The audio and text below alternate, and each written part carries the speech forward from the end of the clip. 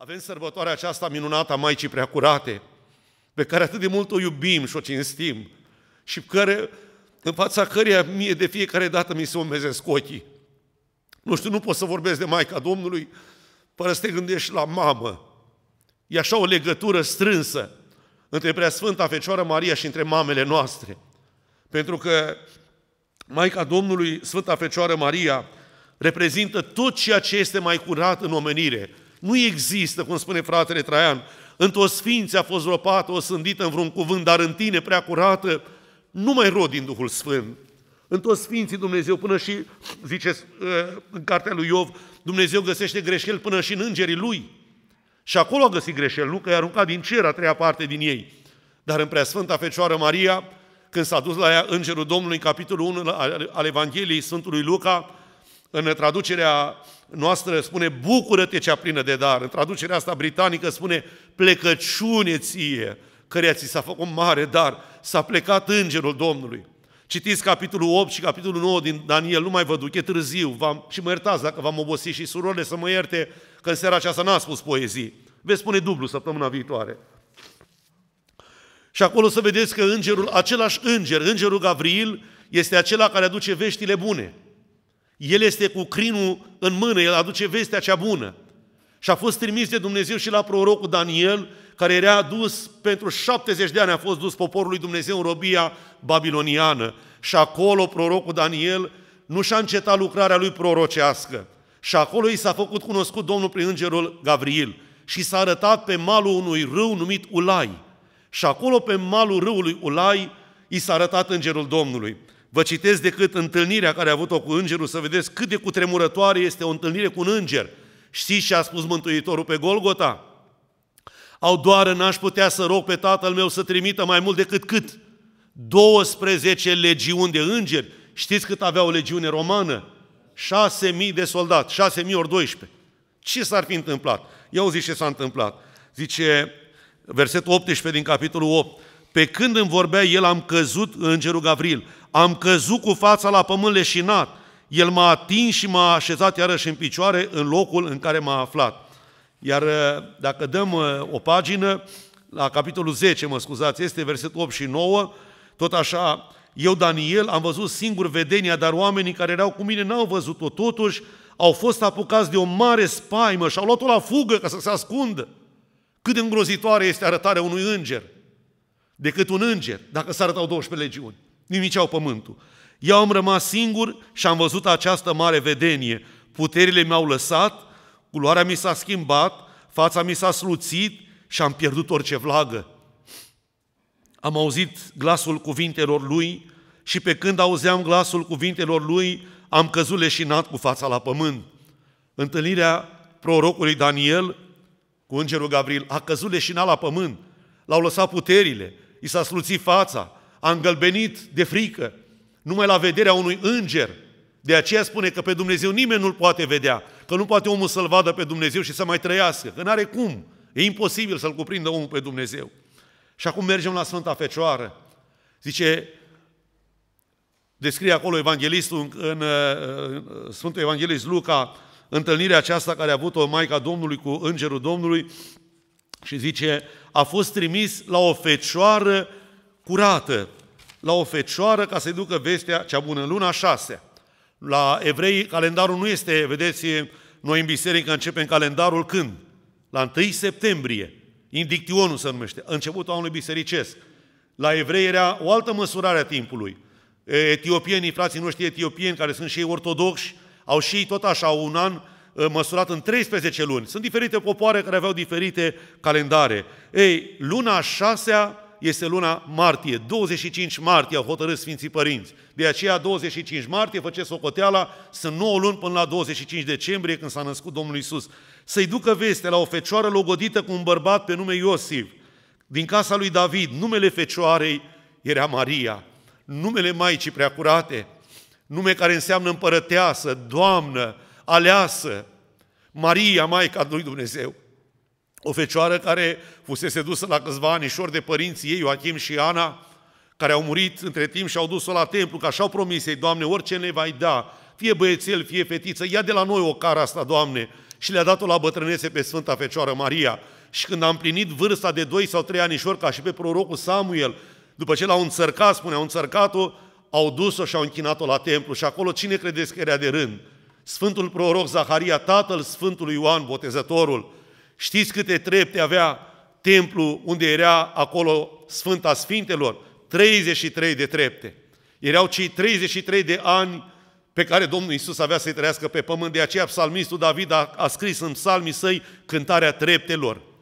Și pe fiecare treaptă, spune preotul Zaharia, era sus pe solee, sus așa pe partea aceea ce mai de sus, și jos Sfânta Fecioară Maria, spune, a alergat ca un fulg în brațele lui și a fost luată, spun Sfinții Părinți, și dusă în Sfânta Sfintelor, unde acolo a fost crescută până la 13 sau 15 anișori. Și acolo i s-a arătat Îngerul Domnului. Și acolo deodată a venit la ea și a spus, plecăciune ție. Ați auzit ce s-a întâmplat în prorocul Daniel? A leșinat, a îngălbenit, a sluțit fața. Maica Domnului nu. De ce oare? Pentru că ea a fost aleasă cerului mireasă. Pentru că de multe ori, spun Sfinții Părinții, nu numai atunci, Dumnezeu de multe ori obișnuise cu vedenile dumnezeiești, ea trăise starea îngerească încă de când fusese adus acolo la templu. Și atunci a spus în vestea cea bună, de spune buna vestire, blagoviștenia, cum se spunea în popor înainte, vestea cea bună că îl va naște pe Fiul lui Dumnezeu. A început, spune Troparul de mâine, astăzi e începutul mântuirii noastre. Dumnezeu ne-a adus vestea cea bună, se ia blestemul de la voi, se ridică blestemul de la voi. De azi încolo nu mai e nevoie să mai se verse sânge de taur, de țap, de miei. Se va vărsa un singur sânge până la a doua venire a Fiului meu, sângele Fiului meu, care se va întrupa din cea mai curată ființă pe care o poate da Universul, din Maria Preacurata. Și din clipa aceea, spune tulburată Maica Domnului când a auzit această veste, și cum să faci? Că eu nu știu de bărbat, cum adică, cum vine asta? Vedeți, mintea curată, zice, dacă ochiul tău este curat, tot trupul tău va fi de lumină, plin de lumină. O minte curată nu poate să-și închipuie. Cum adică să am un copil fără să trăiesc cu un bărbat? O minte curată nu gândește la păcat, pentru că ea nu e întinată. Nu are dimensiunea aceasta să gândească spre păcat. Sfânta Fecioară Maria, pentru dânsa, vedeți, ă, știți când s-a pogorât Duhul Sfânt? Peste biserică, peste apostoli. S-a pogorât abia la Rusalii. Dar vedeți că în Sfânta Scriptură spune cuvântul lui Dumnezeu că Duhul lui Dumnezeu se va coborâ peste tine, spune Maicii prea curate. Maica Domnului primise dinainte. S-a coborât peste ea mai dinainte. Și de aceea ea plină de Duhul Sfânt s-a dus în casa lui Maria, care era verișoara dânsei, mama Sfântului Ioan Botezătorul, și când a intrat în casă, în Iudeia, spune, îndată, cu șase luni era mai mare Sfântul Ioan Botezătorul, îndată pruncul a săltat în pântece și a zis Sfânta Elisabeta, de unde cinste aceasta să vină la mine cine? Maica Domnului meu. Și așa a rămas scrisă. Și așa o cinstim Maica Domnului. Maica Domnului meu și a Domnului tău. Și atunci Maria spune, Sfânta Fecioară, a început acea frumoasă cântare, mărește suflete al meu pe Domnul și se bucură Duhul meu de Dumnezeu, Mântuitorul meu, că a căutat spre smerenia roabei sale, că de acum, iată, toate neamurile mă vor ferici. De acum toate neamurile. Așa a vorbit Duhul Sfânt prin gura Maicii Domnului. N-a vorbit nu știu ce om, nu știu ce proroc. Însuși Dumnezeu, Dumnezeu, Duhul Sfânt a treia persoană, a spus cuvântul acesta. Cine nu o numește fericită, acela înseamnă că nu merge sub călăuzirea Duhului Sfânt. Spunea cineva odată, zice, da, da, dacă mergem așa după ce scrie în Biblie, fără să înțelegem adâncimile Scripturii și învățăturile sfinte lăsate de 2000 de ani, vedeți fel de fel de hule, fel de fel de vorbe slabe la adresa Sfintei Fecioare Maria. Să știți că întotdeauna așa se întâmplă cu adevărul. Adevărul întotdeauna e lovit. De Domnul Iisus știți ce au spus? Cu Domnul demonilor scoate demonii. Cum adică să ai tu curajul ăsta, nemernicia asta să spui că Domnul Iisus e un îndrăcit? Au pus mâna pe el, spuneau îndrăznit, sau vrut să-l împingă în prăpastie, să-l arunce acolo. O, omule, cum poți să spui așa, să faci așa ceva? Omul nebunia lui poate face multe prostii. E un verset în prorocul Isaia, în capitolul 7, cu versetul 9, unde spune acolo, iată, fecioara va, va lua în pântece și va naște un fiu, spune clar acolo, nu trei, nu zece, nu o mie, un fiu, singurul fiu al lui Dumnezeu, că așa spune, atât de mult a iubit Dumnezeu lumea că a dat pe cine? Pe singurul său fiu. Un singur fiu s-a născut. Sfânta Fecioară Maria a fost aleasă, vedeți, sunt persoane în Sfânta Scriptură care au o misiune unică. Nu mai, o altă fecioară nu mai este. Nu mai este nimeni ca Sfântul Proroc Moise. A fost unic și a avut o misiune unică în lume.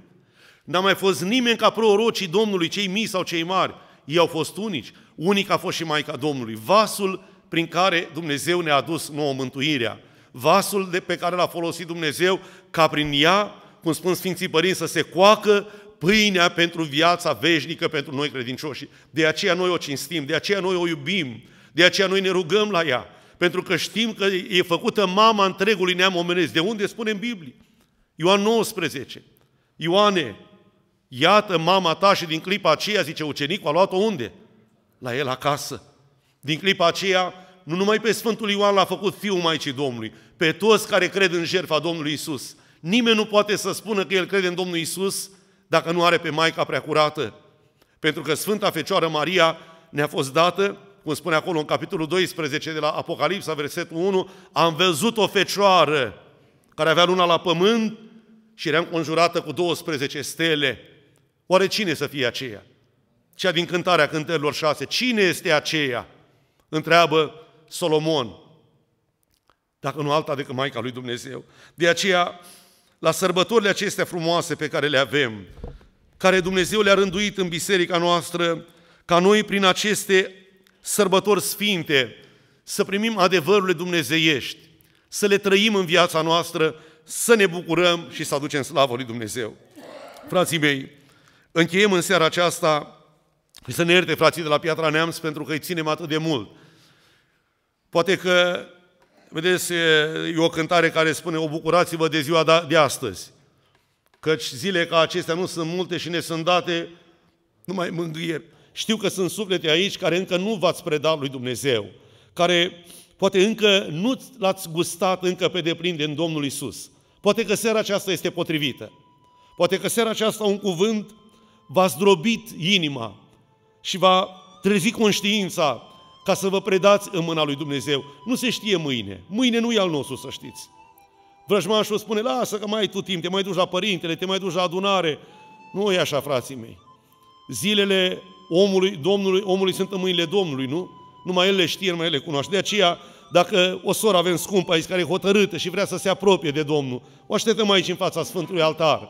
Veniți aici, soră, lângă noi. Dacă mai e cineva care vrea să se predea, care vrea să ia legământ cu Domnul Isus, Acum, sărbătoarea aceasta Maicii Preacurate, știți ce spune acolo? Ce Maria păstra toate aceste cuvinte în inima ei.